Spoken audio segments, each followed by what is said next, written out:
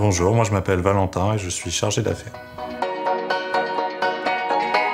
Au lycée, j'ai passé un bac euh, scientifique. Donc après le bac, je suis parti en DUT génie chimique et génie des procédés à Caen. Et après ces deux années, je suis rentré en école euh, d'ingénieur, euh, toujours en génie des procédés, en alternance, donc mis à l'école, mis dans une entreprise.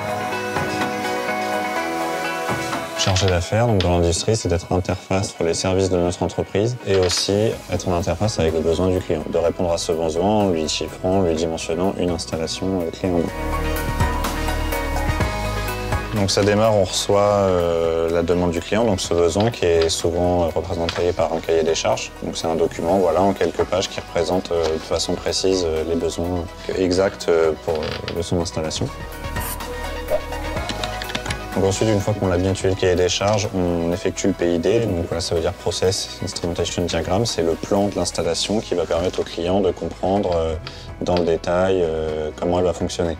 Donc voilà, on représente de façon à la main, au crayon, pour après euh, le donner euh, au dessinateur industriel qui, lui, va le, dessiner sous un logiciel pour aboutir à une version très lisible avec des couleurs, tout ça, pour que le client comprenne le, mieux possible. Enfin, pour terminer, on va réaliser euh, l'offre qui est aussi un document Word, l'offre qui est à la fois technique et commerciale. On va lui présenter tout ce qui est compris dans l'offre, tout ce qui n'est pas compris. Et une fois la commande passée à Go avec, voici le produit fini, l'installation avec les cubes et le process autour.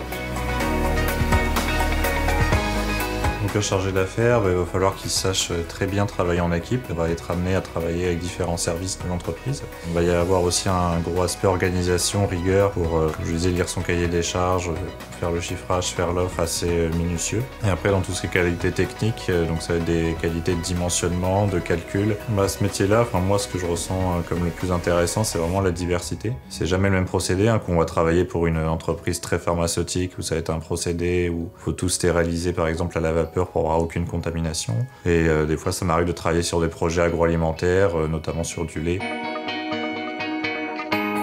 On commence à avoir de plus en plus de demandes de réalité virtuelle qu'on propose de temps en temps à nos clients, qui veulent vraiment se voir dans l'installation avant qu'elle soit construite.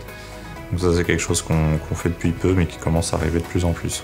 Après si je veux changer de métier, je peux très bien bah, passer euh, de l'autre côté, être gestionnaire de contrat, gérer le projet une fois qu'on a on a eu la commande ou après, de par mes études, je peux aussi aller travailler dans, dans la recherche et le développement.